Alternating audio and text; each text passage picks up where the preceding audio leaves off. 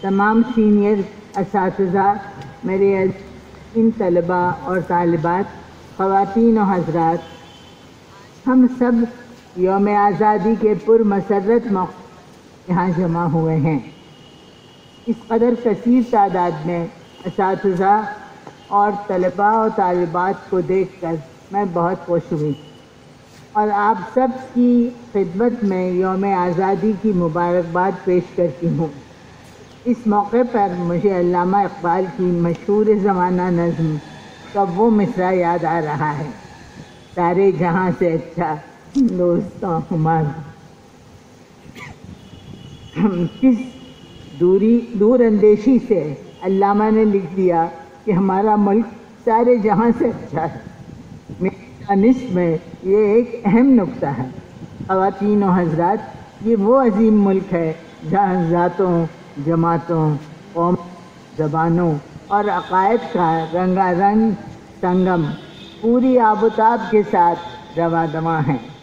سینکڑوں برسوں سے ہم لوگ اتحاد اور اتفاق کی بہترین مثال دینے کے سامنے پیش کرتے آئے ہیں۔ رقص، مصوری، موسیقی، فن تعمیر کے بہترین نمونے ہم نے دنیا کو دیے ہیں۔ ساتھ ہی مذاہب اور وہاں روحانیت کی قابل رشک مثالیں ہمارے سامنے ہیں۔ مجھے افسوس کے ساتھ، مگر یہ کہنا پڑتا ہے کہ گزشتہ چند برسوں سے مختلف جماعتوں اور فرقوں میں کچھ دوریاں پیدا ہونے لگی ہیں۔ دراصل، تقسیم ملک کے علمبیے نے ان دوریوں میں مزید شدت پیدا کر دی۔ سر دست اقلیتی طبقوں خصوصاً مسلم دلت، سکھ، عیسائی، فارسی وغیرہ میں سماجی اور معاشرتی بے چینی اور بے یقینی کا ماحول ہے۔ انہیں اپنے آئینی حقوق کے کو منوانے کے لیے جد و جہد کرنی پڑتی ہے۔ یہ حالات ہماری قومی ترقی اور ملک کی دیر پا خوشحالی کے لیے نقصان دہ ہے۔ ہمیں مل جل کر کوشش کرنی چاہیے کہ ہماری قومی سلامتی اور امن و امان کو کوئی نقصان نہ پہنچے۔ میں سمجھتی ہوں کہ کسی بھی ملک اور ملت کی خوشحالی اور ترقی کا واحد ذریعہ تعلیم ہے۔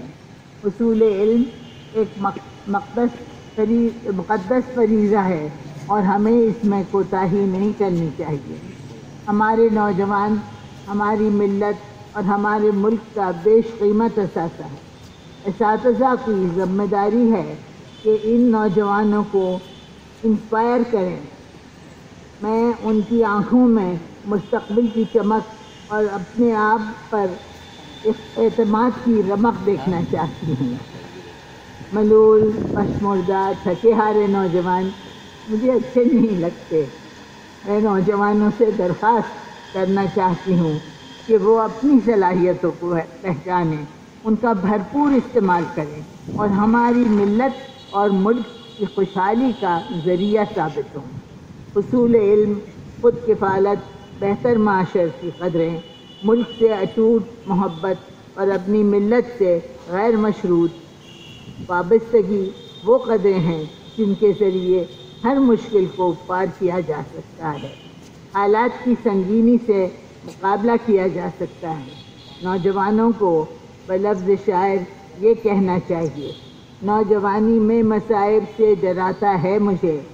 ناسہ ناداں یہ ہے وہ موسم برق و شرط برق و شرط عالم کیف و چنو میں مارتی ہے کہہ کہے زندگی جب موت کی آنکھوں میں آنکھیں ڈال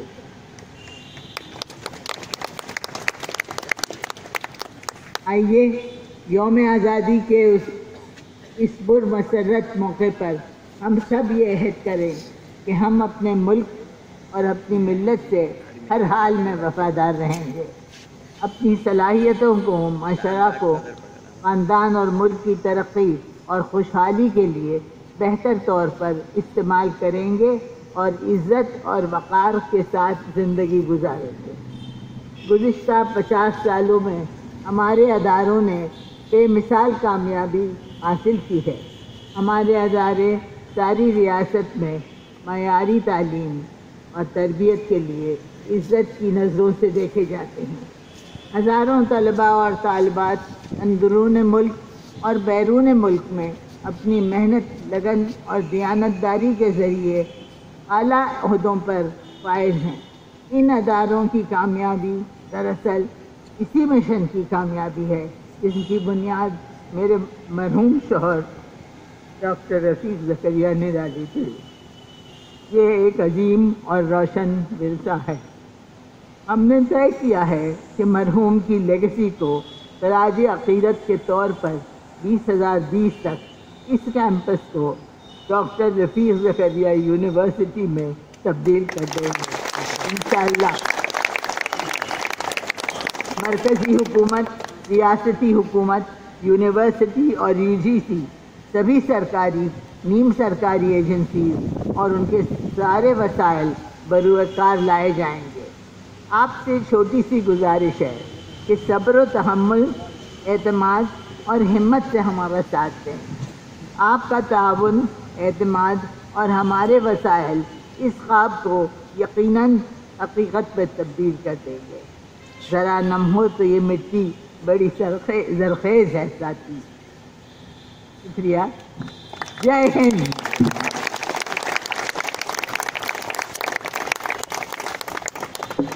یہ زوردار تالیوں سے جو اسپیچ کا استقبال کیا گیا ہے، یہ ثبوت دیتا ہے کہ ہم ہم آپ نے جو ہمارے لیے میسیج دیا